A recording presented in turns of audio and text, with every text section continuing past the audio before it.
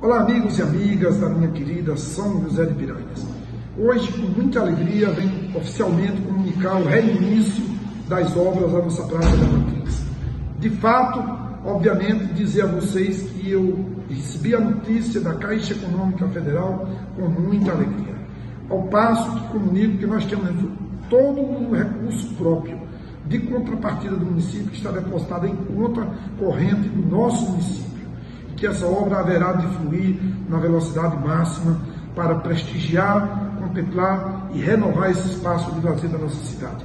Será o mais belo, mais bonito e importante espaço de lazer do sertão da Paraíba e haverá de servir muito bem a todos os piranhenses nos encontros e nos eventos sociais da nossa cidade.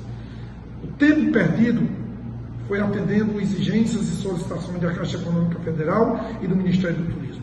Agora vamos avançar para o futuro. Muito obrigado.